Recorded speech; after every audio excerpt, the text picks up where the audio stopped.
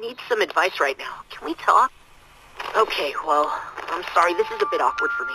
Because it's about a girl. Uh, girl? We see each other all the time because we study together. We've just been friends, you know. Until recently. Till recently?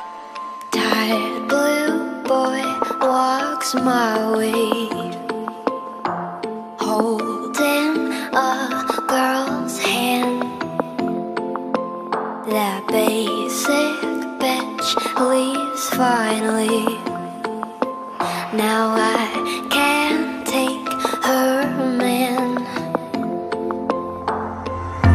Someone told me stay away from things that aren't yours.